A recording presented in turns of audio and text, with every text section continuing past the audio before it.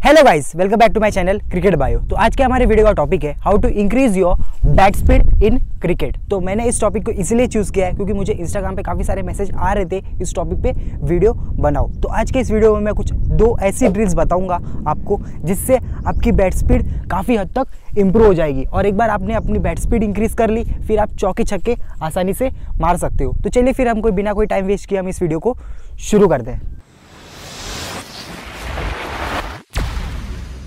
तो हमारी first tip है प्ले विथ हैवी बैट अब हम अक्सर एम एस धोनी सर को देखते हैं कि वो डबल बैट यूज़ करके शेडो प्रैक्टिस करते हैं। अब कुछ लोगों को ये पता नहीं होगा कि वो डबल बैट यूज़ क्यों करते हैं। वो डबल बैट यूज़ इसलिए करते हैं क्योंकि इनसे डबल बैट यूज़ करने से उनकी बैट स्पीड काफ़ी हद तक इंप्रूव होती है। वो मैच से पहले ऐसे डबल बैट यूज़ करके शेडो प्रैक्टिस किया करते हैं अक्सर। अगर अब अगर आपके पास दो दो बैट अवेलेबल ना हो तो आप कैसे अपनी बैट स्पीड को इंक्रीज़ करोगे? तो मैं एक ड्रिल लेकर आया हूँ। उस ड्रिल में मैं आपको बताऊँगा, अगर आपके पास दो दो बैट अवेलेबल नहीं है तो आप कैसे अपनी बैट स्पीड को इंक्रीज कर सकते हो। तो चलिए हम उस ड्रिल को देखते हैं। तो इस ड्रिल को करने के लिए मैंने एक नॉर्मल बैट लिया है। अब मुझे इस नॉर्मल बैट को हैवी बैट बनाना है। तो मैं इस नॉर्मल बैट से कोई वजनदार चीज़ बांधूँगा। तो आप देख सकते हो, मैंने दो पत्थर लिए। अब इन दोनों पत्थर को मैंने बैट से बाँध दिया है।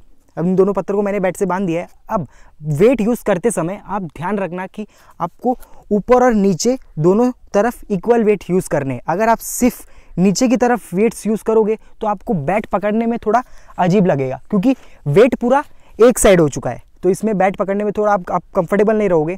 और वेट यूज़ करने के बाद, अब वेट यूज़ करने के बाद ये बैट हैवी बन चुका है। अब इस हैवी बैट से आपको शेडो प्रैक्टिस करनी है। इस हैवी बैट से आपको शेडो प्रैक्टिस करनी है और वो सारे शॉट्स खेलने हैं जो आप मैच में खेलते हो, इस हैवी बैट से। तो चलिए मैं आपको ये ड्रिल एक बार करके दिखा देता हूँ।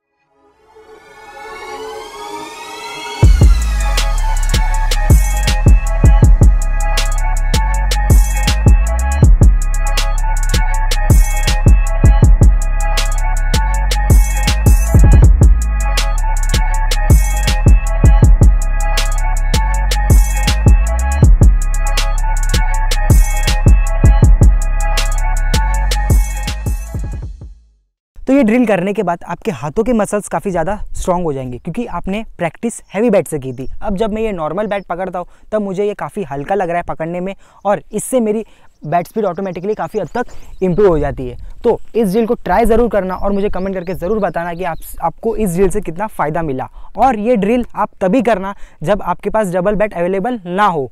तो मैंने इस, ये इसीलिए बताया था कि जिसके पास दो दो बैट अवेलेबल ना हो, वो ऐसे प्रैक्टिस कर सकते हैं। जिसके पास दो दो बैट अवेलेबल है, वो इस तरह प्रैक्टिस कर सकते हैं। और मैं इसका, इस वीडियो का आई बटन पर लिंक भी दे दूँगा। तो most of right hand batsman का राइट हैंड ज़्यादा स्ट्रॉन्ग होता है as compare to left hand. अब इसका डिसएडवांटेज क्या होता है? जो भी यंग क्रिकेटर्स होते हैं, उनका वो हैवी बैट से नहीं खेल पाते, क्योंकि उनका लेफ़्ट हैंड वीक है। लेफ़्ट हैंड वीक होने की वजह से वो हैवी बैट से नहीं खेल पाते। और अगर आपको अपनी बैट स्पीड इंक्रीज करनी है तो आपका लेफ़्ट हैंड स्ट्रांग होना बहुत ज़रूरी है, अगर आप राइट हैंड बैट्समैन हो। और लेफ़्ट हैंड स्ट्रांग होना क्यों ज़रूरी है? Left hand left hand strong होना इसलिए ज़रूरी है, क्योंकि क्योंकि आपका ये लेफ़्ट हैंड है, वो आपके बैट को गाइड करता है। और जब भी आप बैट उठाते हो, तब मोस्ट ऑफ़ द प्रेशर आपका लेफ़्ट हैंड पे आता है। तो इस लेफ़्ट हैंड को स्ट्रॉन्ग करने के लिए मैं आज एक ड्रिल बताऊँगा। चलिए हम उस ड्रिल को देखते हैं। तो इस ड्रिल को करने के लिए आपको लेफ़्ट हैंड से बैट पकड़ना है, अगर आप राइट हैंड बैट्समैन हो। अगर आप लेफ़्ट हैंड बैट्समैन हो तो आप इसका अपोजिट कर सकते हो। तो मैंने आपको लेफ़्ट हैंड से ऐसे बैट पकड़ना है और अपने राइट हैंड में बॉल रखना है। अब आपको क्या करना है? अब आपको ये ये जो बॉल है, आपको अपने सामने ऐसे ड्रॉप करना है और लेफ़्ट हैंड से ऐसे खेलना है। इस तरह प्रैक्टिस करने से आपका लेफ़्ट हैंड है, वो स्ट्रांग होगा। लेफ़्ट हैंड की मसल्स इंप्रूव होगी और आपका अगर लेफ़्ट हैंड स्ट्रांग हो गया तो आपकी बैट स्पीड ऑटोमेटिकली इंक्रीज हो इंक्रीज होगी। तो चलिए मैं आपको ये ड्रिल एक बार करके दिखा देता हूँ।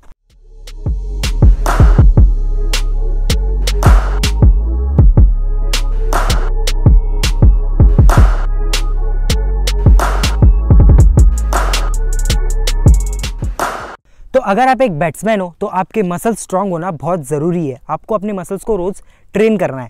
तो आपकी बैट स्पीड तब तक इंक्रीज़ नहीं होगी, जब तक आपके मसल्स स्ट्रांग नहीं हो जाते। पर बैट स्पीड इंक्रीज़ करने के लिए आपको कौन से मसल्स पे ज़्यादा ध्यान देना है। कौन से मसल्स पे आपको ज़्यादा फोकस करना है? तो सबसे पहला मसल्स है आर्म्स आपको अपने आर्म्स पे बहुत ध्यान देना है। अगर आपको अपनी बैट स्पीड इंक्रीज करनी है, आपको बैक शोल्डर चेस्ट लेग्स इन सब पे, इन सब पे ज़्यादा ध्यान देना है। अगर आपके ये मसल्स स्ट्रांग हो जाते हैं तो आपकी बैट स्पीड ऑटोमेटिकली इंक्रीज होगी।